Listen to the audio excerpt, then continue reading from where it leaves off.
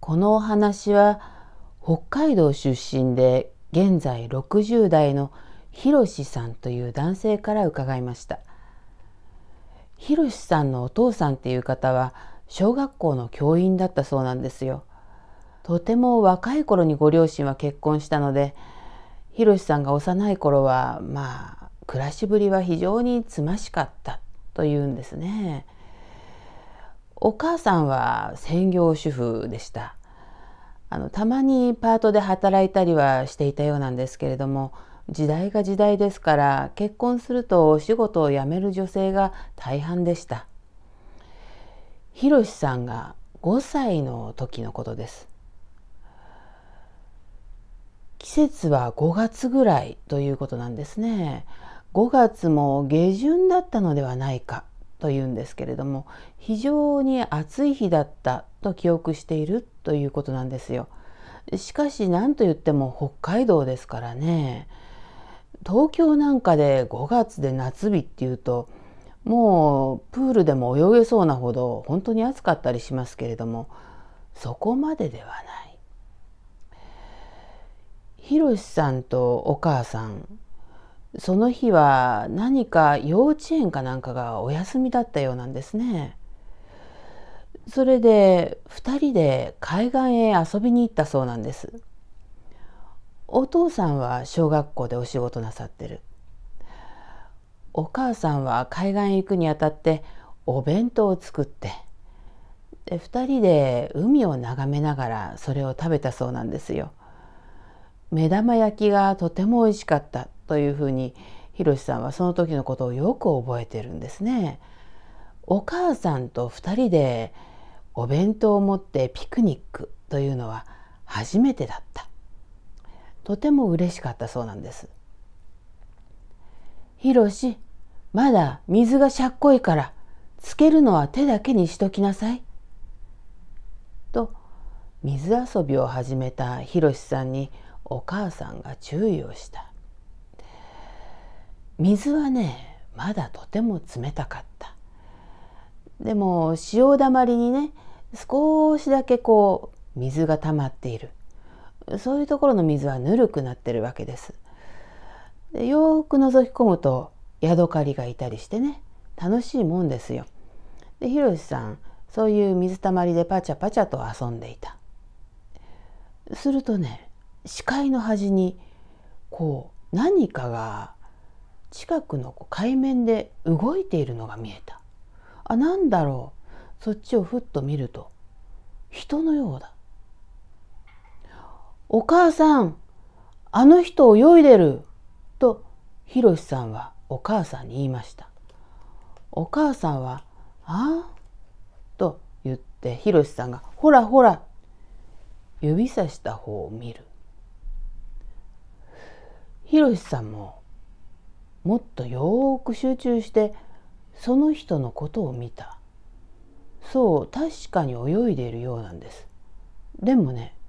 よく見ると変なんですよ。ぺったりと平らな顔。その顔ねどうも普通の人間の3倍ぐらいありそう。それにやけに色が白いんです。なんだか大福餅みたいに白いなと。真っ白なんですね。真っ黒な髪の毛を真ん中分けにしてどうも髪は長いみたい。そんな人が大きなクロールの手つきで泳いでいる。こっちに向かってきてるようだ。ところがね一向に進まないんですね。眺めてると進んでくるどころか次第次第に後ろへ後ろへ下がっていくように見える。ゆっくりゆっくりと後ろへ下がっていく。前に向かって泳いでるように見えるのにあ不思議だなと思ってじーっと見ているとその顔の大きい色の白い不思議な人物はどんどんどんどん沖の方へ沖の方へ遠ざかっていってついには見えなくなったというんですね。ひろしさんは「お母さんお母さん」とびっくりして「お母さんほらねさっきの人」驚きをお母さんに伝えようと思ったんです。ところがねお母さんね見入られたようにぼーっとした眼差しをその人が消えていった方にと向けているだけでひろしさんが肩をゆすっても呼びかけても答えない。じーっと海を見ていた。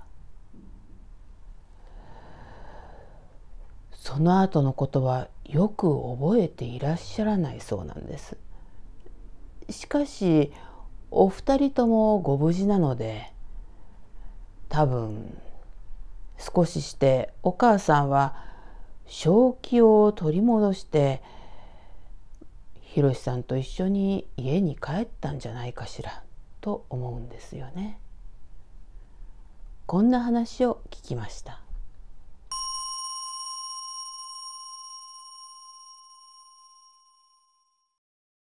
ありましたねあのこちらのあのチャンネルでも話しましたし本にも書きましたしあのあれはもう北海道ではなくて逆にこう南のねあの波照間とかねあちらの海でしたけどあの結構ね体験談を募集してるとうん海で不思議なものを見たあったっていう話がたまにあるんですよね。まあ、多くはね釣りをしている最中に不思議な現象にあったとかそういうのが多いんですけどあとは人魚なんじゃないかなと思われるような不思議なこう海から現れたこう女性にまつわる話であるとかっていうのがあって今回のこの話も髪が長いとか色が白いとかちょっと女の人のようではあるんですよね。ただ顔が人の3倍あるとか近づいてきているように見えるのにどんどん遠ざかっていくであるとか何か不思議な感じでうん、まあ、妖怪なのかなと思うんですけれどもどうなんでしょうね。海の妖怪っていうと私もそんな詳しくないのであのそうですね。海南法師とか人魚とか、うん、神社姫とかまあ、それなりにいますけどそんなにはそんな顔が3倍っていうのがちょっとユーモラスですよねあんまり怖くない感じがしますどこが怖いかっていうとお母さんが見られたようにじっとその不思議なものが消えてった方を見つめていて呼びかけに反応を示さなかったというのが、まあ、怖いポイントなのかなと思うんですけれども。その後本当は何が起きたんでしょうねそれもちょっと想像すると少し怖いと思うんですよ。